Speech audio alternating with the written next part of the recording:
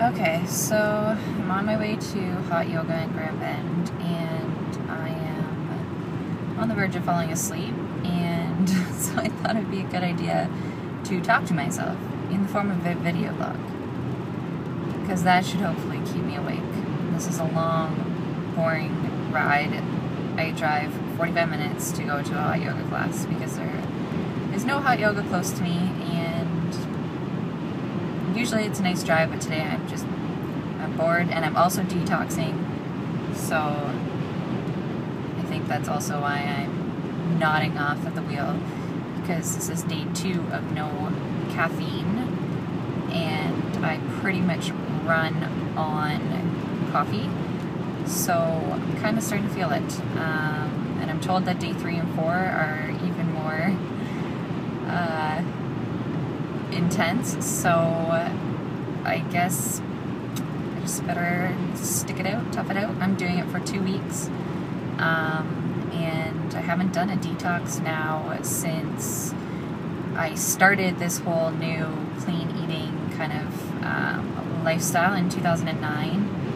Um, when I started learning how to properly fuel my body and started seeing a nutritionist and she had me do a detox to, um, you know, at the time I was in university, so detox out good things like alcohol and street meat. Um, and I remember it being pretty, pretty intense. So uh, it takes a lot of physical and mental stamina, and uh, and I only do it because I feel very rejuvenated and just I'm not really sure I can fully explain what it feels like after you finish a detox. You really just need to try it for yourself. Um, I don't do anything crazy. I don't do that like maple syrup mixed with hot sauce crap. I don't know how anyone could do that. Um, the only things that I take out of my diet when I detox are uh, dairy, wheat, um, caffeine, sugar, and that's about it. Oh, and peanuts, which is awful. Peanut butter is basically my life. So, I'm allowed eggs, I'm allowed egg whites. I do chicken, I do turkey. I can't have beef, but that's fine. Um, for two weeks, I can go without red meat. All the fruits and veggies that you want, and the best part about it is you just eat what you're craving. So there's no tracking macros, which I tend to do when I'm not detoxing. There is no um, tracking calories or nutrients, or I mean, it's you're getting great nutrients because it's a detox, but there's no tracking of anything. You just go by what you want to eat. So it's kind of, I guess, intuitive eating. Um, so yeah, you, and you got beans are fine, like chickpeas, black beans, that kind of thing. Um, anyways, so I just went on a rant about detoxing, but anyways, if you're interested in in learning more, you can certainly contact me. I can let you know what kind of detox that I follow, and um, yeah, so that's about it. Anyways, I'm off to yoga. I've completely changed the way that I train as of lately. Um, I used to be a five to six day a week, heavy lifting, mass building kind of girl. And uh, the long and the short of it is, it's it's really taken a toll on my my body physically. I'm starting to have a lot of injuries.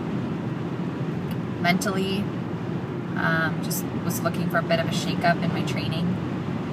And hormonally, I I'm just I'm a wreck hormonally. Um, weightlifting causes you to um, push out a lot of cortisol, stress hormone. So um, it has a huge effect on your adrenals, and um, and my adrenals are just are just shot. Um, I was, you know, you you can tell when your adrenals are starting to to get fatigued because you're you're finding that to get through any given day you're relying on coffee and I was up to four cups, maybe five even a day, just to get through my day and not, you know, fall asleep at my desk. Um, I wasn't I wasn't thinking straight. I would have a thought come into my head, and then the next second it'd just be completely gone. Um, my my concentration was just completely completely off, and it's still on the mend. My hair was my hair used to be so long; it was breaking off. My nails were breaking off and brittle. Very dry skin, dry hair, dry nails. Um, what else was I having? I started breaking out. Um, just, I guess, you know, your adrenals are just, they're your stress, your stress organ, and they were crying out that, you know, they're, they're stressed out. Um, so, to kind of remedy that, I've really taken my training back a lot. Um, try to just kick my feet up and relax as much as I can. Um, so I'm weightlifting really light weights about two days a week. And I do, in my first week, I do one upper body, one lower body day. I'm really lower body dominant. Um, so then my second week, I do two upper body days. And, uh, and on my other days, I'm just doing yoga or going for like, going for a long walk outside. Um, and just really letting my body rest and recover and heal.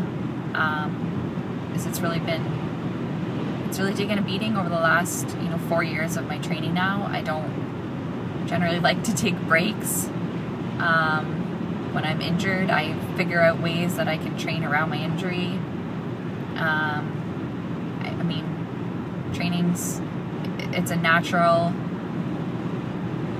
endorphin rush. It gives you such a feel good um, feeling when you're done that I mean it can get addictive and, and I think I was I was definitely starting to see um, addictive tendencies in myself and then I kind of pushed them to the side and then when family and friends started to say things to me about what they were noticing then I, I really couldn't turn a blind eye to it. Um, so I made you know I made the decision to step away from the weight room for a little while um, for my health and just focus on me, um, getting healthy in, inside and out. Um, so that's kind of an update on my training. That's why I've been pretty quiet on my social media lately um, because it's been really difficult for me to come to this realization and, and take time off. Um, so yeah, it's a tough pill to swallow and there's definitely days I want to give in and go lift and get in a crazy hard workout, and then I have to really step back and remind myself that my body needs time to recover, and, and it's just not the right time right now to get back into training.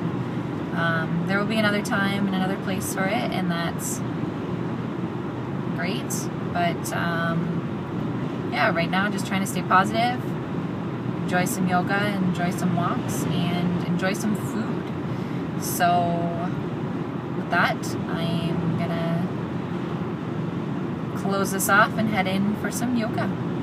Bye, guys.